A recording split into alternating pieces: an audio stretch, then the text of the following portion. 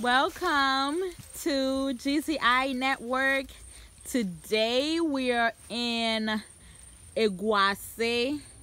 Um, this village particularly is called Raba. That's where we live in Ghana. Yeah. That's my best friend. Today's video is about stuff that we have grown ourselves. You know, um this is a palm nut tree.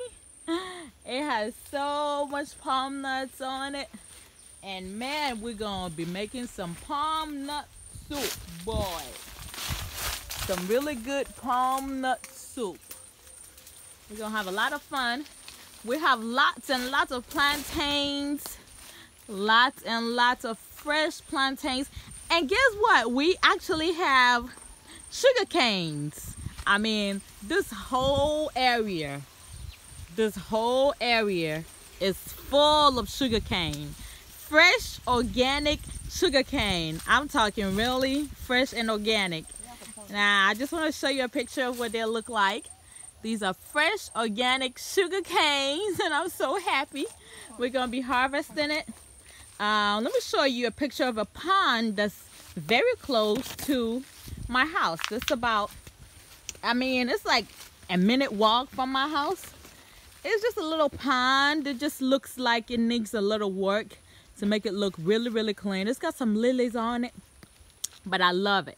Um, when you look up here, there's some um, fresh plantains that's growing, that's coming up. And boy, I can't wait to harvest all of this. And we actually got some kontomire, you know, some kontomire, some cocoa yams is coming up. Um, I mean, we got a whole bunch of stuff. We actually growing some um, cassava trees. Um, let me show you a picture of these cassava trees. And boy, this land is huge. Really, really, really, really, really huge. This is a avocado tree. Oh, yes, it's an avocado tree.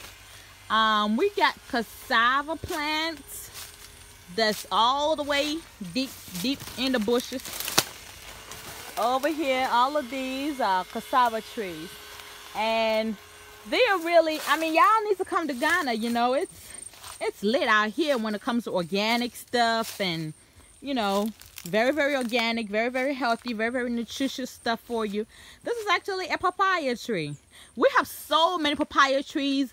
I can't wait to show you some more papaya trees that we got. Come on. And we got some dandelions over here. There's a whole lot of them, you know. There's so many dandelion trees. I mean, plants that are growing in our yard. We got some more plantains and more banana trees and some more um, palm nut trees. You know, there's a whole bunch of trees, you know. Um, so we just walk like what, 50 seconds and that's my house right there. Um, it's a six bedroom, six bathrooms, and it's a lot of work, you know. It's a lot of work. It's taking a lot of time, a lot of energy, but we're gonna make this happen, you know. This is West Africa, Ghana. Y'all need to visit you know. Now i want to show you a picture of um, these papaya trees that we have. We actually harvested some papaya some papayas this afternoon and boy they are so good. This is the papaya tree. Boy it's so many papayas and we're having so much fun with all of these papayas like it's so many papaya trees and they're all bearing so much fruits and so much stuff to do. You know, we got some more cassava trees. Boy, we got so much food. Y'all need to come down. We're actually growing some um, mango trees. Boy, they coming up pretty great. So y'all need to come down. You know, y'all need to visit. You know, come see West Africa, Ghana. And, you know, it's getting good. It's, life is getting a little bit better. So especially it's a lot of work but it's gonna get better we're gonna get there slowly but surely all right y'all have a good one i'll send i'll make some more videos about our progress Um, all right, ciao, ciao.